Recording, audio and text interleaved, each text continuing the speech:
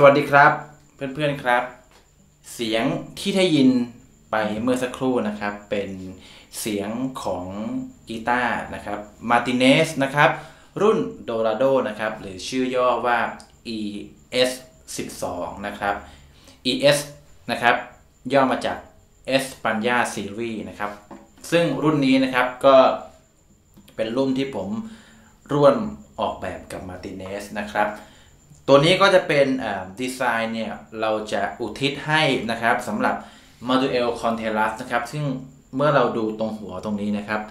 หัวตรงนี้เนี่ยจะเป็นเหมือนหัวของ m a d u l c o n t e r a s นะครับ ก็ตอนนี้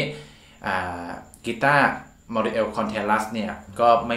ไม่ได้มีการผลิตอีกต่อไปแล้วนะครับ ก็ตัวนี้เป็นทำเพื่ออุทิศให้ m a d u l c o n t e r a s นะครับ อะคันนี้ เรามาดูสเปคของกีตาร์ตัวนี้กันก่อนนะครับกีตาร์ตัวนี้นะครับเป็น all solid นะครับเป็น all solid นะครับไม้หน้านะครับจะเป็น spruce นะครับเยอรมัน spruce นะครับ back side ตัวนี้จะเป็น Indian rosewood นะครับอ่าตัว fingerboard ตรงนี้นะครับ fingerboard จะเป็น ebonyนะครับเป็น ebony แล้วก็ตรงคอจะเป็น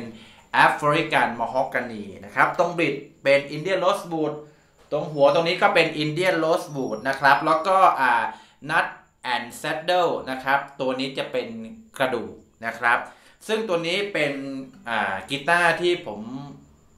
พูดได้ว่าเป็นกีตาร์ที่มันคุ้มค่าตัวหนึ่งเลย เพราะว่านะครับ ราคา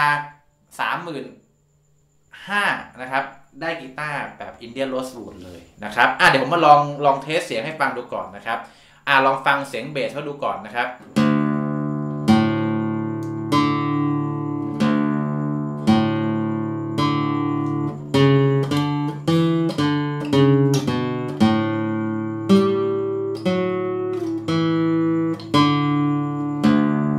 อ่านะครับเบสก็มีความอุ่น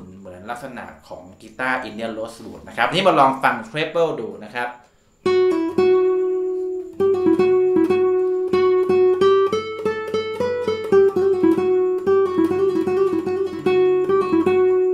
นะครับ treble ก็มีความหวานของที่เป็น spruce อยู่นะครับ ก็ตัวนี้นะครับก็เป็นอีกหนึ่ง choice นะครับสำหรับคนที่หานะครับ กีตาร์ all solid นะครับ งบประมาณไม่สูงตัวนี้เป็นอีกหนึ่ง choice ที่เป็นทางเลือกที่ดีมากๆนะครับ ตัวนี้ผมฝากไว้นะครับ ก็เป็นนะครับ